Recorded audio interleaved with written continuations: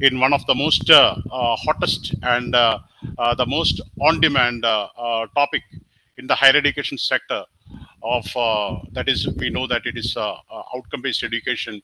Obviously, we have have got a lot of confusions regarding outcome-based education and how to actualize it in its real sense. So definitely, this is a, a major concern among uh, the higher education uh, sectors.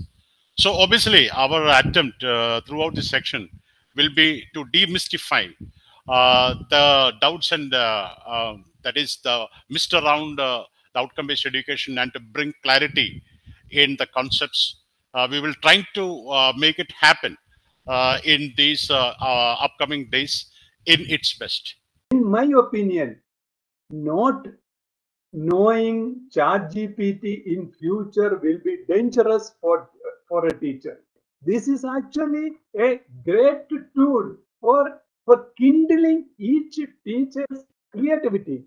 So therefore, my request is that don't see this only as to make a quiz or to or to make some PPT slides or to make some questions.